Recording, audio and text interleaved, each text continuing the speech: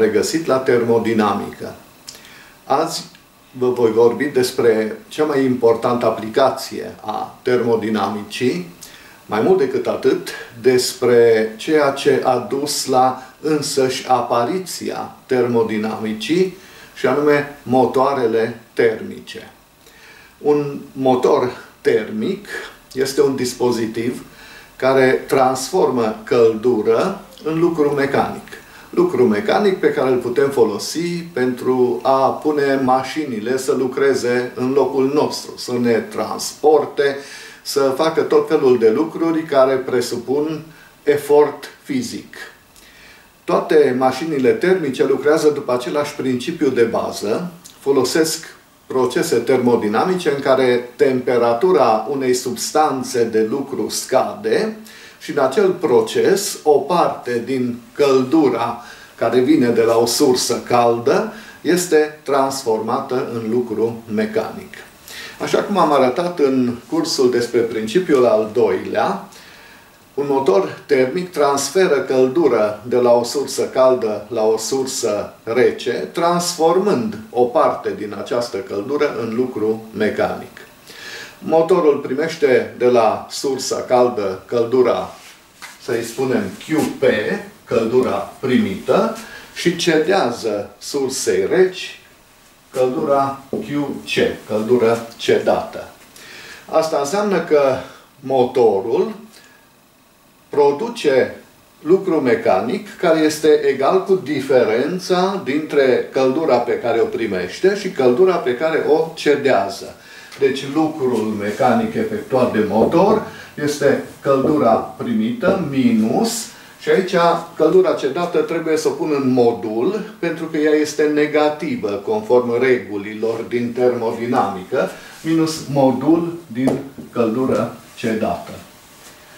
Iar randamentul unei mașini termice este raportul dintre cât lucru mecanic primim de la mașina termică respectivă și câtă căldură i-am dat. Deci L supra căldura primită. Și aici, dacă îl înlocuim pe L cu diferența de mai înainte, QP minus modul din QC supra QP, atunci găsim următoarea relație pentru randamentul oricărei mașini termice. Randamentul este 1 minus modul din căldură cedată supra căldura primită. Repet, este o formulă cu care se poate calcula randamentul pentru oricare motor termic. Principiul al doilea ne mai arată că întotdeauna acest randament este mai mic decât randamentul unui ciclu Carnot, care ar funcționa între aceleași temperaturi cu motorul termic despre care vorbim.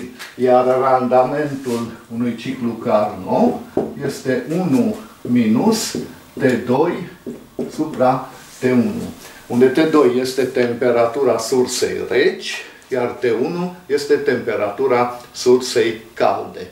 Și încă o dată spun, principiul al doilea ne arată că randamentul ciclului Carnot este întotdeauna mai mare decât randamentul oricărei mașini termice care lucrează între aceleași temperaturi. Fiecare motor termic are un așa numit ciclu termodinamic, adică un șir de transformări după care funcționează motorul respectiv. Dar niciun motor nu respectă întru totul ciclul teoretic, ciclul termodinamic, din motive tehnice, din cauza limitărilor tehnice. Putem deci spune că ciclul termodinamic care caracterizează un anumit tip de motor este un model idealizat al funcționării motorului respectiv. Cred că nu strică să vedem un scurt istoric al dispozitivelor care transformă căldură în lucru mecanic. Veți găsi pentru toate informațiile, desenele și fotografiile din această parte a cursului linkurile în descrierea clipului. Au existat încă din antichitate dispozitive care transformă căldură în lucru mecanic, de pildă, putem să spunem, străbunicul turbinei cu abur, dispozitivul lui Heron din Alexandria, care folosea presiunea aburilor pentru a pune în mișcare de rotație un anumit vas. Printre schițele lui Leonardo da Vinci s-a găsit și un tun cu aburi, în care apa preîncălzită ajunge într-o zonă foarte fierbinte și se vaporizează instantaneu, producând aburi de mare presiune. Și acești aburi de mare presiune puteau să arunce o ghiulea de greutate destul de mare, după spusele lui Leonardo da Vinci. Uh, de fapt, el îi atribuie această invenție lui Arhimede și găsiți linkul, așa cum am spus, în descriere. Primul motor termic care a avut succes comercial folosea aburi, dar nu era pus în mișcare de presiunea aburilor, ci din potrivă, aburii intrau într-o zonă rece unde se condensau și atunci acolo scădea foarte mult presiunea, iar presiunea atmosferică din partea cealaltă a unui piston împingea pistonul. De aceea, inventatorul acestui motor termic, Thomas Newcomen, l-a botezat motorul atmosferic. Repet, pentru că folosea de fapt presiunea atmosferică. Deci aburii nu erau folosiți pentru a împinge, ci din potrivă prin condensarea lor se obținea o presiune mult mai mică într-o parte a pistonului decât presiunea atmosferică. Acest motor a fost folosit la acționarea pompelor care scoteau apa din mine.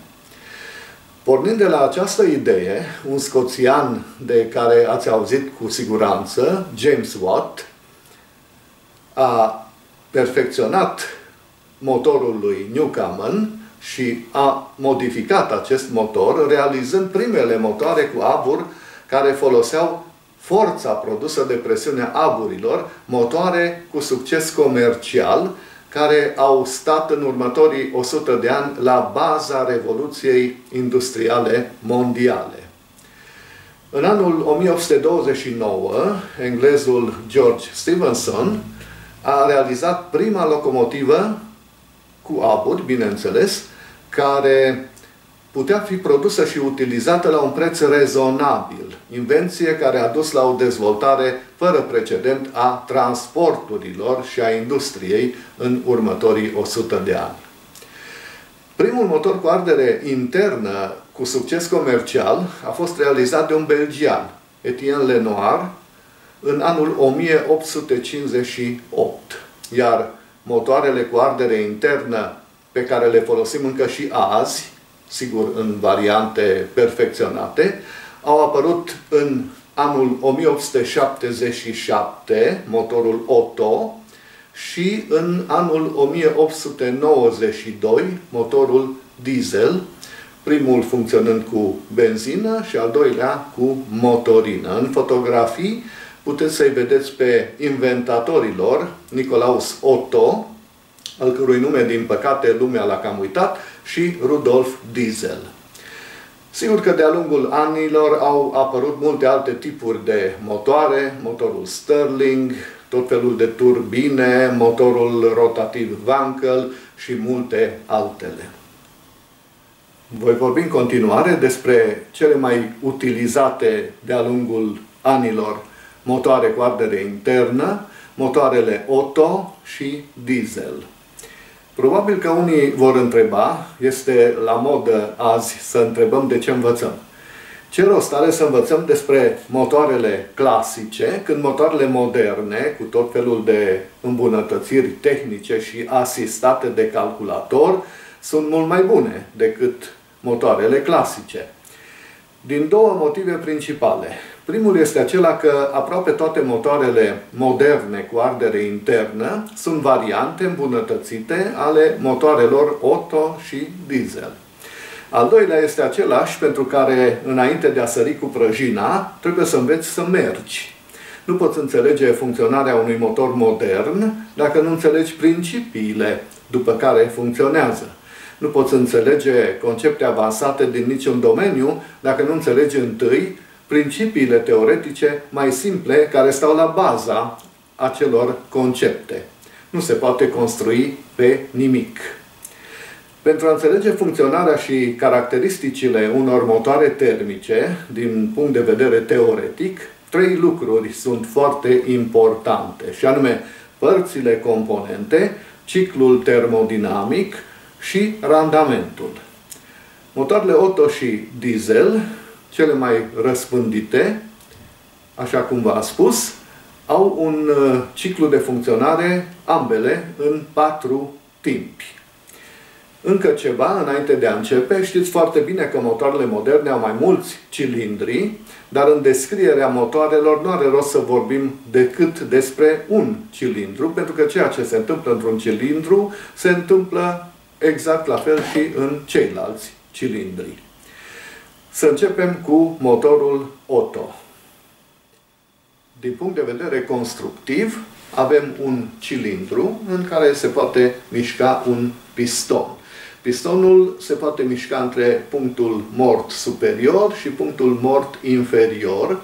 Așa se numesc punctele în care pistonul se oprește o clipă pentru a-și schimba sensul de mișcare în interiorul cilindrului. Mai avem două supape, supapa de admisie și supapa de evacuare și mai avem o bujie.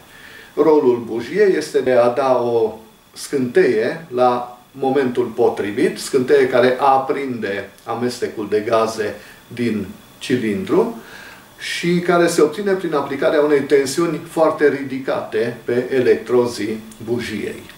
Să urmărim cei patru timpi, folosind pentru aceasta diagrama termodinamică pe care este reprezentat ciclul de funcționare al motorului Otto, pe scurt ciclul Otto. În primul timp, care se numește admisie, supapa de admisie este deschisă și pistonul coboară de la punctul mort superior la punctul mort inferior, iar în cilindru intră aer cu benzină pulverizată. La motorul autoclasic, această pulverizare se obținea într-un carburator, iar la motoarele moderne se injectează benzină în galeria de admisie, care apoi intră prin supapa de admisie în interiorul cilindrului.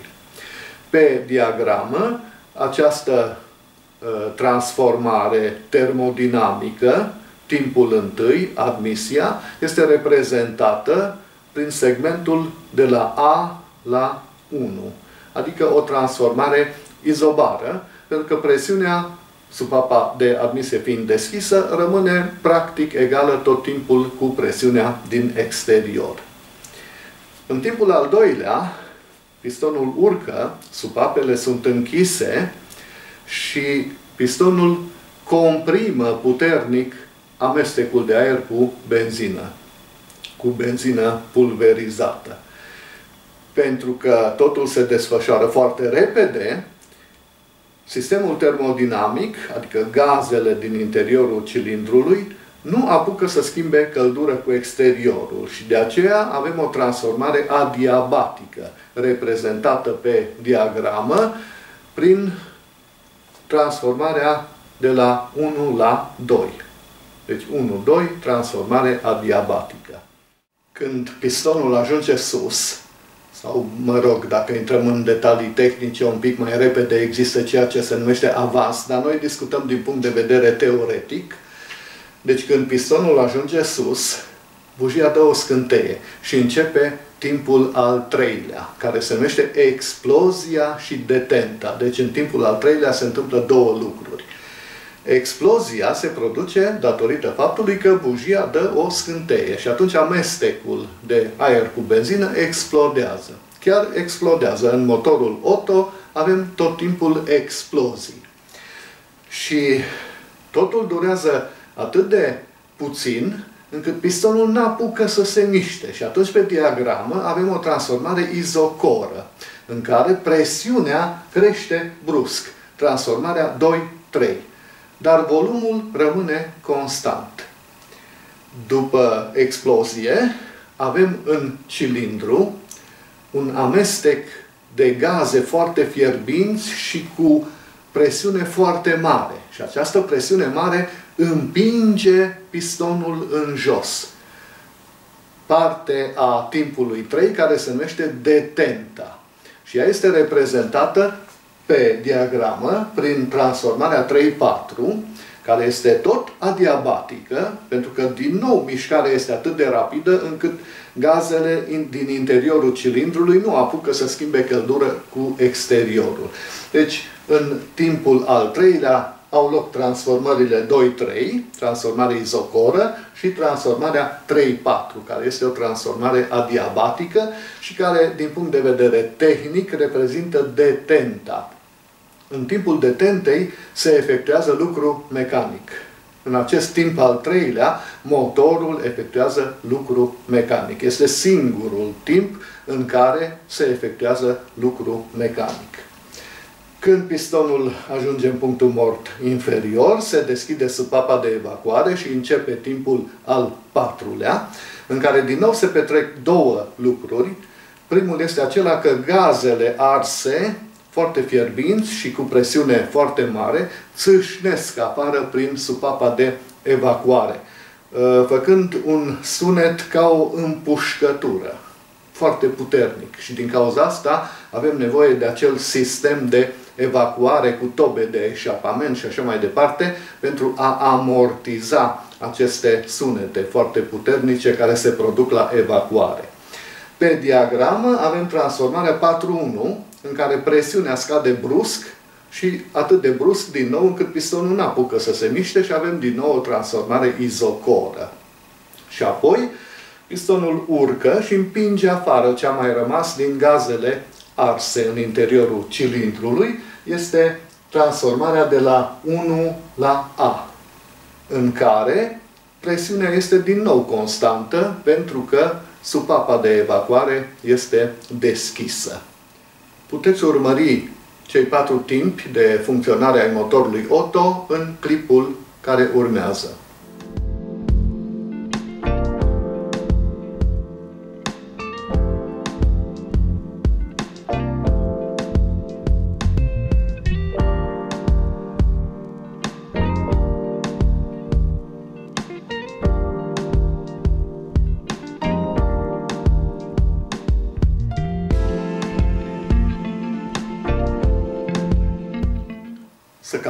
Acum randamentul motorului Otto. Deocamdată randamentul lui teoretic. Am uh, văzut deja că randamentul oricărui motor termic se poate calcula cu relația 1 minus modul din căldura cedată supra căldura primită. Motorul Otto primește căldură în transformarea 2-3, adică în momentul exploziei, și cedează căldură în transformarea 4-1, atunci când se deschide supapa de evacuare și gazele care încă sunt fierbinți ies afară din cilindru. Dacă ne uităm pe diagrama termodinamică de funcționare a motorului Otto, observăm că aceste două transformări sunt amândouă transformări izocore.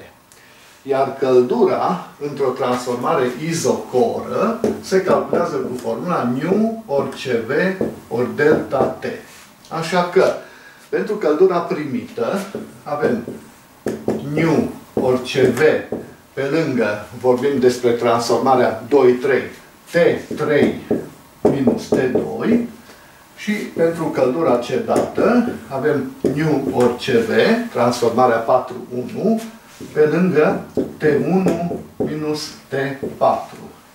Această a doua căldură, căldura cedată, este negativă, așa și trebuie, pentru că T1 este mai mic decât T4. Și acum, dacă înlocuim aceste două expresii ale căldurilor în formula randamentului, obținem că randamentul este 1 minus, ca să am modul din căldura cedată, voi inversa termenii în această diferență, nu ori CV pe lângă T4 minus T1 supra căldura primită nu ori CV pe lângă T3 minus T2.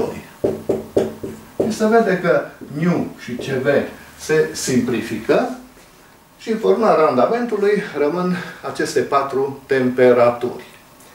Ca să scap de ele, mă voi folosi de transformările adiabatice din ciclul Otto, adică de transformarea 1-2, respectiv 3-4.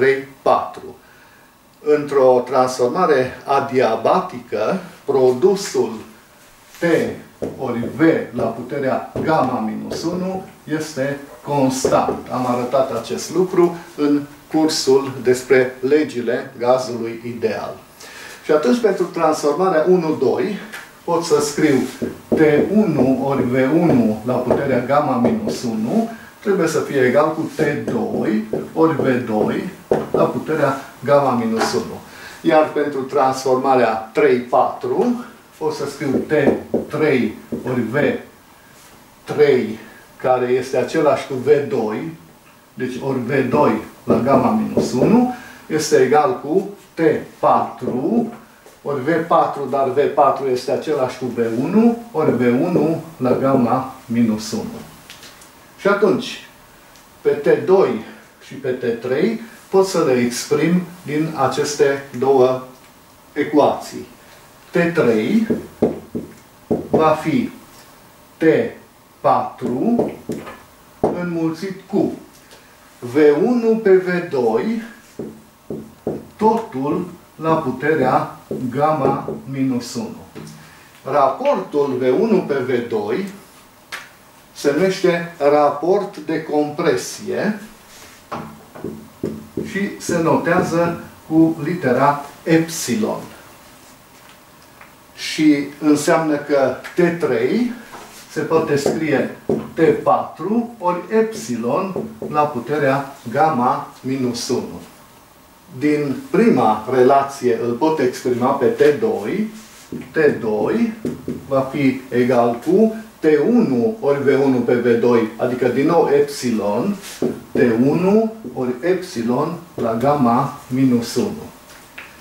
Și vă rog să observați că dacă fac aceste două substituții pentru T2 și T3 în formula randamentului, atunci obțin 1 minus T4 minus T1 supra epsilon la puterea gamma minus 1 pe lângă T4 minus T1. Și atunci diferența T4 minus T1 se simplifică.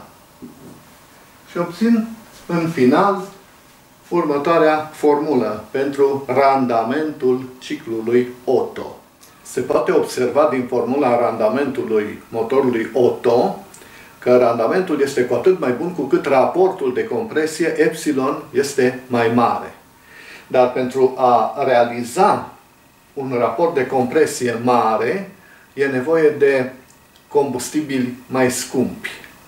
Benzina rezistă la compresie, dar dacă am încerca să folosim motorină într-un motor auto, în timpul compresiei, amestecul de aer cu motorină ar exploda înainte ca bujia să dea scânteie, ceea ce e foarte rău, foarte dăunător pentru motor. E un fenomen care se numește detonație și care uzează foarte repede motorul. Așa că un motor auto are nevoie de combustibili scumpi care rezistă bine la compresie ca să putem avea un raport de compresie mare pentru ca randamentul să fie bun. Să trecem la motorul diesel. După cum ați văzut, motorul Otto nu poate folosi combustibili ieftini, cum este motorina, din cauza fenomenului de detonație. În paranteză fie spus, prețul de producție al motorinei este mult mai mic decât prețul de producție al benzinei. Că la pompă au cam același preț, e o problemă de taxe și accize. Dar, repet, prețul de producție al motorinei este mult mai scăzut decât prețul de producție al benzinei. Soluția acestei probleme a găsit-o diesel, care a avut ideea de a nu introduce combustibilul odată cu aerul, ci doar la sfârșitul compresiei. Dacă motorul comprimă doar aer, nu mai există pericolul detonației. Din punct de vedere constructiv, un motor diesel este foarte asemănător cu un motor auto. Avem un cilindru, un piston, o supapă de admisie, o supapă de evacuare, dar în locul bujiei avem un injector care injectează la momentul potrivit motorina în cilindru. Cei patru timpi de funcționare sunt admisia, în care supapa de admisie este deschisă, pistonul coboară și în cilindru intră de data asta doar aer. În timpul al doilea sunt închise ambele supape, pistonul urcă și comprimă foarte puternic aerul, îl poate comprima de data asta cât vrem, pentru că nu există pericolul detonației îl comprim atât de mult încât la sfârșitul compresiei aerul din cilindru va fi foarte fierbinte, atât de fierbinte încât în momentul în care va intra motorina, aceasta se va aprinde. Asta se întâmplă când începe timpul al treilea, care aici se numește arderea și detenta, deci nu mai avem explozie, pentru că de data asta motorina arde pe măsură ce intră și în loc să avem o transformare izocoră, adică o variație bruscă a presiunii, presiunea rămâne constantă. Veți vedea acest lucru imediat când vom discuta transformările pe ciclul diesel. Apoi, gazele arse, încălzită de motorina care este injectată în cilindru, care au o temperatură foarte mare, împing pistonul în jos. Dar nu se injectează motorină până când pistonul ajunge jos. Pentru că ar fi o risipă de combustibil, randamentul ar fi foarte prost, ci doar până când pistonul ajunge undeva pe la jumătatea cursei, mai departe e o problemă tehnică până unde se face acest lucru.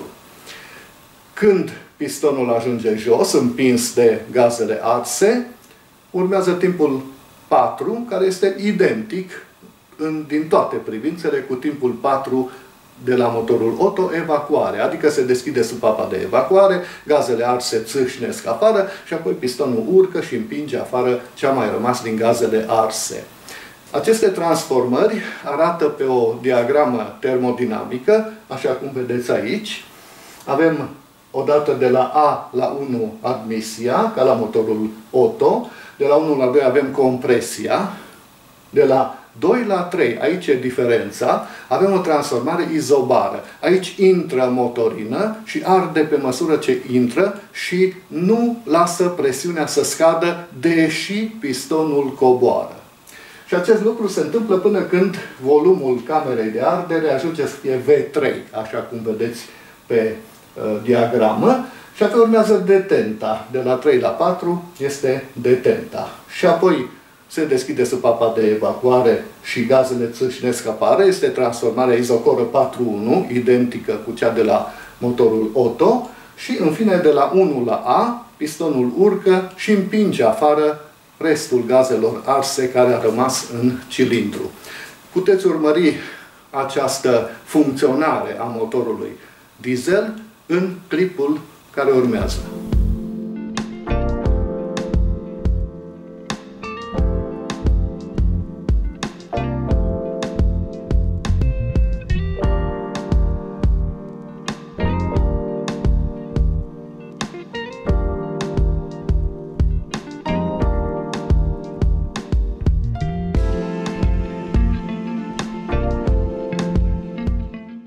Și acum să calculăm și randamentul motorului diesel.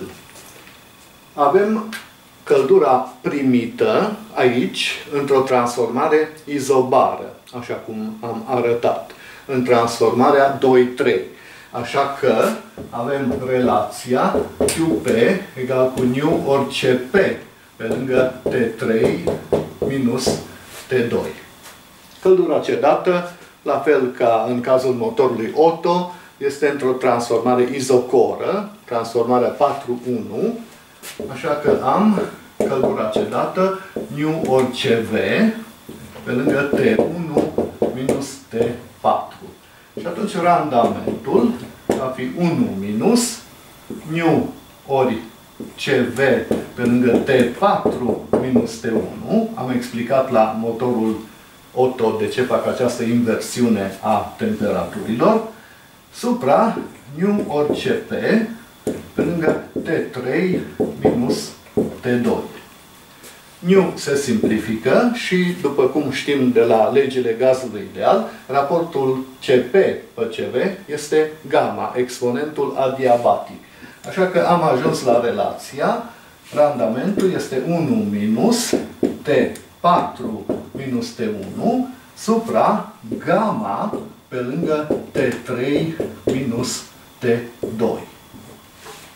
Și în continuare, așa cum am făcut și la motorul Otto, trebuie să scăpăm de temperaturi folosindu-ne de alte relații pe care le putem obține din ciclul diesel. Și în cazul motorului diesel avem raportul de compresie epsilon egal cu V1 pe V2, dar pentru că mai avem un volum, vedeți pe diagramă volumul V3, care este de fapt volumul gazelor când încetează injectarea motorinei.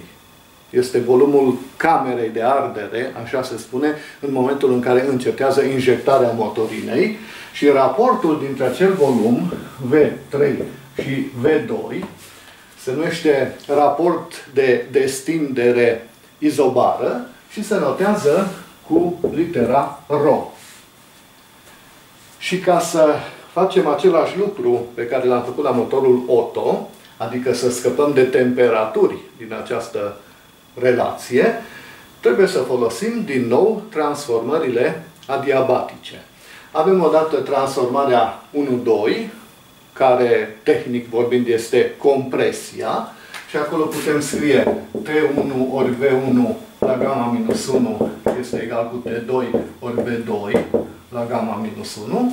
Și avem apoi detenta, care e reprezentată prin transformarea 3-4, în care putem scrie T3 ori V3 la gamma minus 1 este egal cu T4 ori V1 la gamma minus 1. Și aici mai putem găsi o relație între volume folosind transformarea izobară 2-3. Și anume putem scrie că V2 pe T2 este egal cu V3 pe T3. Aceste trei relații ne permit să exprimăm toate temperaturile din formula randamentului în funcție de T1. De pildă, din prima relație rezultă că T2 este T1 înmulțit cu V1 pe V2 la gamma minus 1, adică înmulțit cu epsilon la gamma minus 1.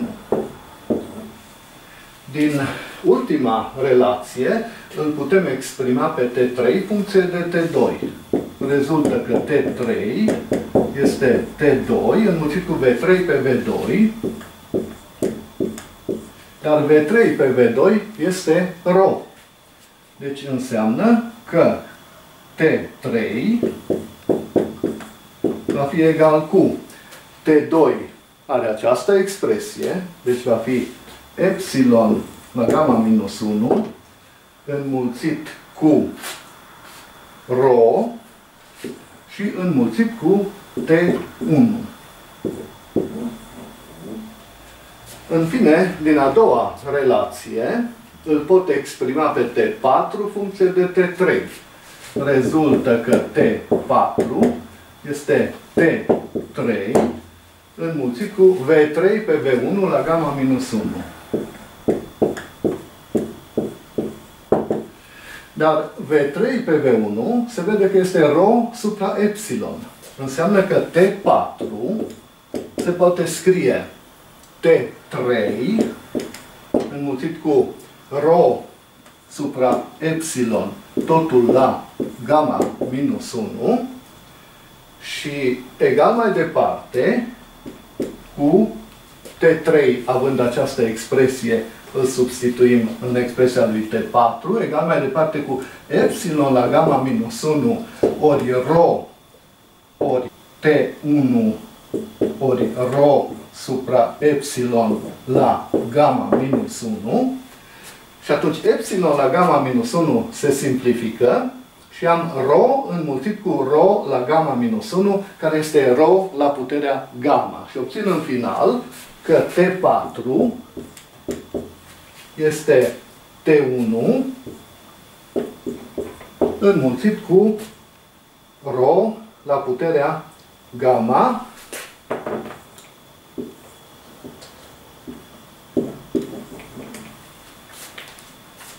și am exprimat toate temperaturile în funcție de temperatura T1. Mai departe, dacă veți înlocui toate aceste expresii ale temperaturilor T2, T3 și T4 în formula randamentului, veți obține formula finală pe care o vedeți aici. Mai trebuie să spun că formulele randamentelor pentru cele două motoare pe care le-am dedus ne arată doar o limită maximă a randamentelor respective, pentru că din motive tehnice, din cauza restricțiilor tehnice, reprezentarea reală a ciclului de funcționare al unui motor nu este niciodată identică cu reprezentarea ciclului termodinamic al motorului respectiv. De pildă, reprezentarea reală a ciclului de funcționare al unui motor Otto arată așa cum vedeți. Și dacă o comparați cu reprezentarea ciclului ideal după care funcționează, vedeți că sunt diferențe foarte mari între o reprezentare și cealaltă și asta face ca randamentul să fie mai slab decât randamentul teoretic pe care l-am calculat. Încă ceva, după cum ați văzut, atât motorul Otto cât și motorul diesel au un singur timp din cele patru în care efectuează lucru mecanic.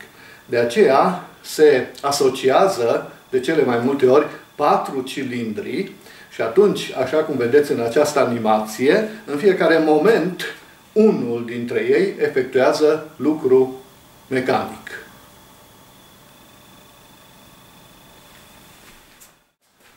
Mai nou, din cauza că se folosesc motoare tot mai mici, au apărut și motoarele cu 3 cilindri și asta se face cu scopul de a avea un cuplu suficient, chiar dacă cilindrea totală a motorului este mică.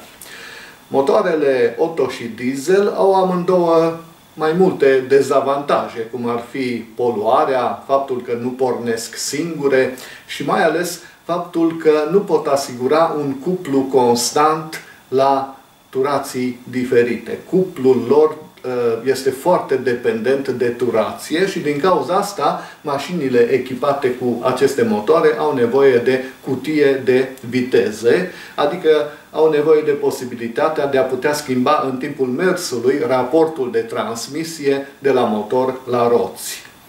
Pentru transportul rutier, utilizarea variantelor motoarelor cu ardere internă se apropie de sfârșit. Ele vor fi înlocuite de motoare electrice, mult mai potrivite pentru a asigura puterea și cuplul, care este, în cazul lor, mult mai puțin dependent de turație decât în cazul motoarelor cu ardere internă.